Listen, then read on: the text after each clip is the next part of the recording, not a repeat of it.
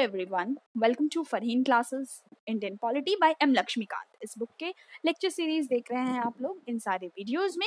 सो so, इस तरह के और भी वीडियोस को देखने के लिए इस यूट्यूब चैनल को ज़रूर सब्सक्राइब कीजिएगा और साथ ही बेल आइकन को भी प्रेस कर दीजिए। तो salient features of the constitution chapter third हमारा कंटिन्यू करेंगे हम लोग और आज देखेंगे fourth part okay third part तक का डिस्कशन कंप्लीट हो चुका है हमारा।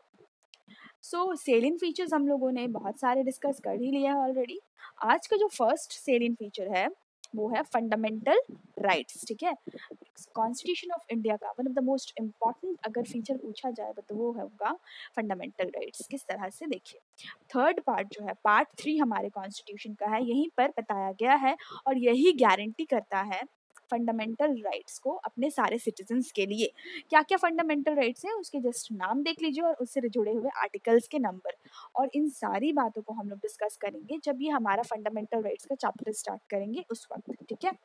सो फ़र्स्ट जो हमारा फंडामेंटल राइट है वो है right to equality which comes under article fourteen to eighteen okay then right to freedom from article nineteen to twenty two right against right against exploitation, article 23 to 24 right to freedom of religion, Article 25 to 28, cultural and educational rights, Article 29 to 30, right to constitutional remedies, Article 32.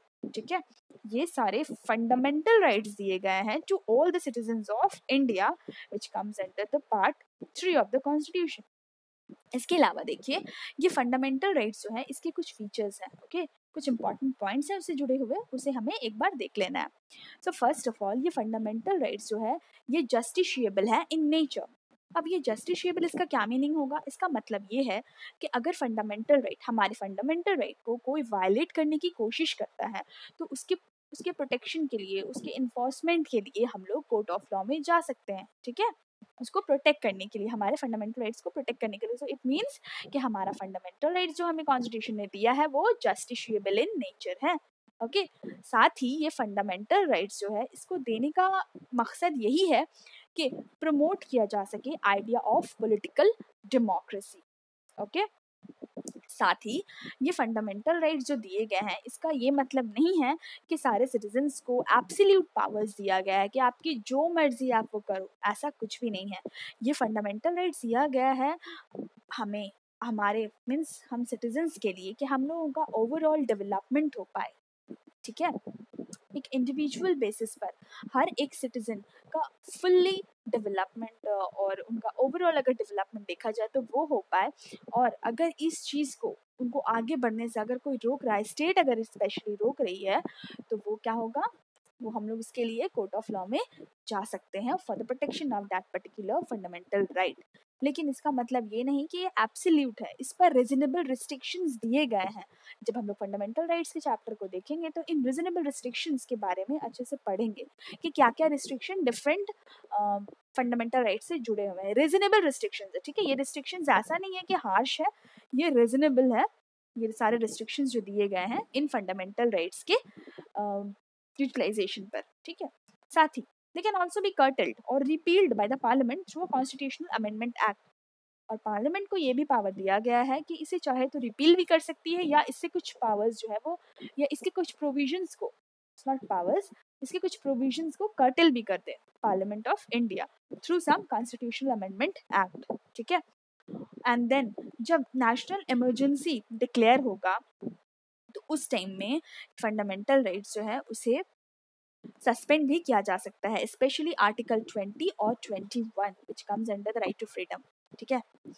तो ये सारी बातें हम लोग detail में देखेंगे, जब हम लोग फंडामेंटल राइट के चैप्टर्स को देखेंगे। ये हमें बस इतना याद रखना है, इतना पता होना चाहिए कि फंडामेंटल राइट इंडियन कॉन्स्टिट्यूशन का बहुत ही इंपॉर्टेंट सेलियन फीचर्स है, जो जस्टिशियबल इन नेचर है और हमारे इसे क्यों डाला गया है फंडामेंटल राइट्स को कॉन्स्टिट्यूशन में? ताकि पॉलिटिकल डेमोक्रेसी को प्रमोट किया जा सके और ये सारे फंडामेंटल राइट्स एब्सोल्यूट नहीं है, इन पर रिजनेबल रिस्ट्रिक्शंस भी लिख दिए गए हैं और स्टेट इम्पोज कर सकती है ये रिजनेबल रिस्ट्रिक्शंस को और पार्लियामेंट के पास ये अथॉरिटी दी गई है कि इन फंडामेंटल राइट्स के कुछ प्रोविजंस को ये कर्टेल भी कर सकती है या रिपील भी कर सकती है by constitutional amendment act okay और नेशनल इमरजेंसी के टाइम आर्टिकल 20 और 21 सस्पेंड कर दिया जाता है। अब देखते हैं दूसरा इंपॉर्टेंट सेलियन फीचर जो है directive principles of state policy अब ये क्या है? ये सारे जो प्रिंसिपल्स कुछ दिए गए हैं, हमारे फ्रेमर्स ने ऐड किया है कॉन्स्टिट्यूशन में, जो एक डायरेक्टिव है। It is a directive in nature ठीक है? डायरेक्टिव किसके लिए है? स्टेट के लिए, ताकि वो इसके, इस पर बेस्ड पॉलिसीज़ बना पाए for the welfare of the people ठीक है? तो इसको आगे जब हम लोग पढ़ेंगे तो समझ पाएँगे कि एक्चुअली में ये directive principles of state policy है क्या? डॉक्टर अंबेडकर जो जिन्हें father of the constitution of India कहा जाता है। उन्होंने इस directive principles of state policy को नोवल फीचर कहा था इंडियन कॉन्स्टिट्यूशन का। ये पार्ट फोर में मिलता है हमें कॉन्स्टिट्यूशन के पार्ट फोर में। ये डीपीएसपी जिस तरह से फंडामेंटल राइट को पॉलिटिकल डेमोक्रेसी के प्रमोशन के लिए डाला गया है तो directive principles of state policy के एडिशन के पीछे भी कोई मोटिव होगा। तो इसको कॉन्स्टिट्यूशन में इसलिए डाला गया कि सोशल और इकोनॉमिक डेमोक्रेसी जो है, इसको प्रमोट किया जा सके। ठीक है? और साथ ही वेलफेयर स्टेट का इस्टेब्लिशमेंट हो पाए इंडिया में। इसलिए इन सारे डायरेक्टिव्स को कॉन्स्टिट्यूशन में दिया गया है। तो ये डायरेक्टिव्स जो हैं, ये जस्टिशिएबल नहीं है। ये बात याद रखिएगा, ये बहुत ही इंपॉर्टेंट डिफरेंस है between the fundamental right and the directive principles of state policy ये डायरेक्टिव्स जस्टिशिएबल नहीं है। इट मीन्स कि अगर इस डायरेक्टिव्स को, जो भी डायरेक्टिव्स इसमें दिए गए हैं स्टेट के लिए, अगर स्टेट इन सारे डायरेक्टिव्स पर कोई पॉलिसी बनाने में या इसके इम्प्लीमेंटेशन में अगर फेलियर हो जा रहा है देन हम लोग एज अ सिटीजन इसके इन्फोर्समेंट के लिए कोर्ट ऑफ़ लॉ में नहीं जा सकते हैं ठीक है?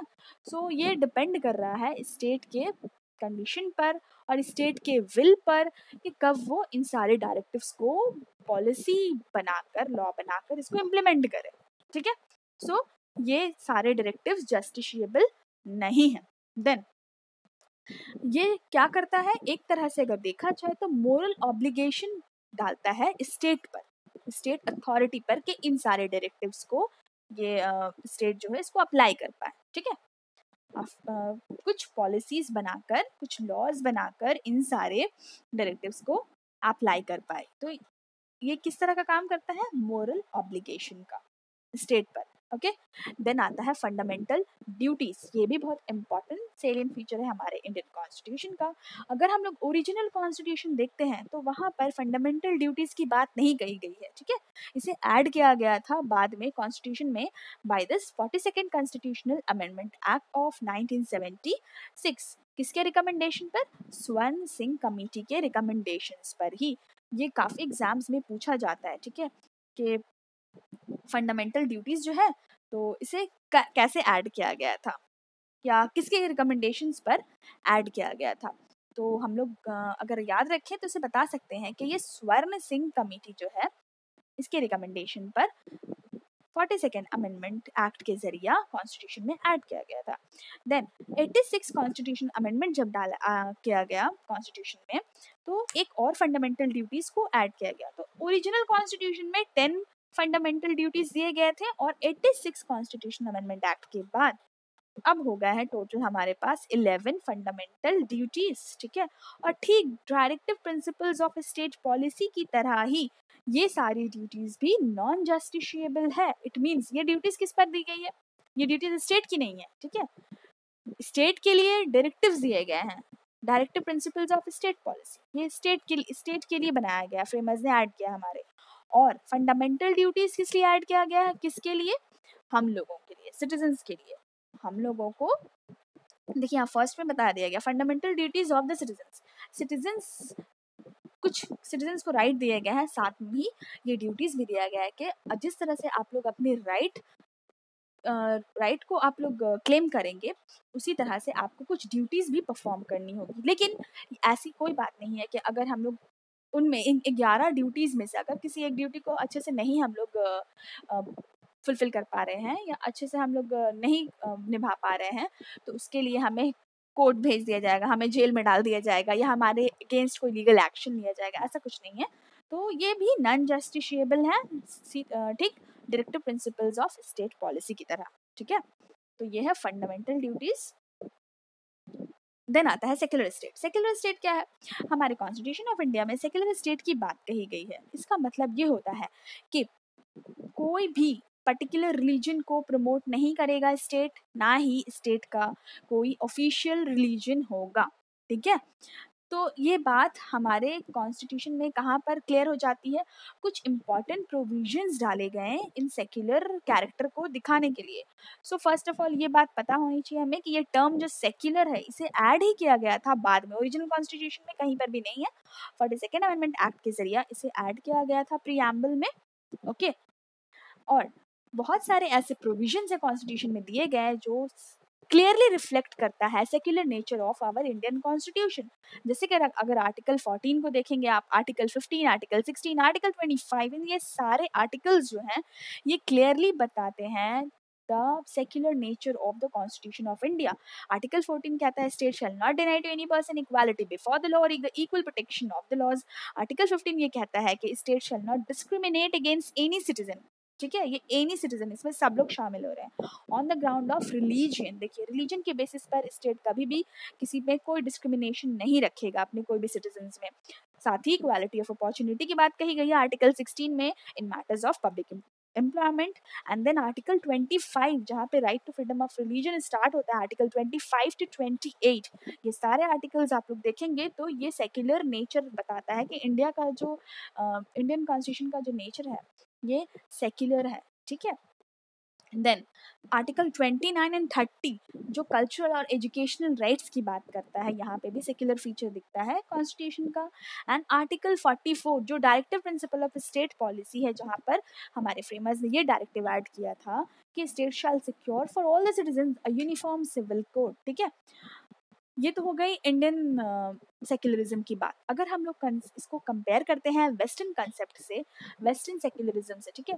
वेस्टर्न कंसेप्ट ऑफ़ सेक्युलरिज्म क्या है? ये थोड़ा सा डिफरेंट है यहाँ से। वहाँ पर बात की जाती है कंप्लीट सेपरेशन की रिलीजन और स्टेट वेस्टर्न साइड में अगर हम लोग वेस्टर्न साइड में जाते हैं तो वहाँ चर्च को रिलीजन माना जाता था। मीन्स चर्च और पॉलिटिक्स को बिल्कुल अलग रखा गया है, ठीक है? बिल्कुल डिफरेंट अलग रखा गया है। यही उन लोगों के लिए सेक्युलरिज्म का मीनिंग यही है that separation between the religion and the state तो ये नेगेटिव कंसेप्ट है सेक्युलरिज्म का और हमारे इंडियन कंडीशन पे इंडियन सिचुएशन में ये इन एप्लीकेबल है बिकॉज़ हमारी सोसाइटी में सोसाइटी जो है वो मल्टी रिलीजियस है है ना?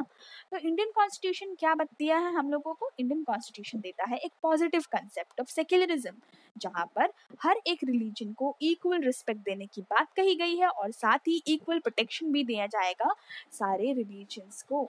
तो काफ़ी पॉजिटिव एटीट्यूड है और काफ़ी पॉजिटिव अप्रोच है सेकुलरिज्म का हमारे इंडियन कॉन्स्टिट्यूशन में और दूसरी साइड वेस्टर्न कंसेप्ट सेकुलरिज्म वो काफ़ी नेगेटिव है, ठीक है ना?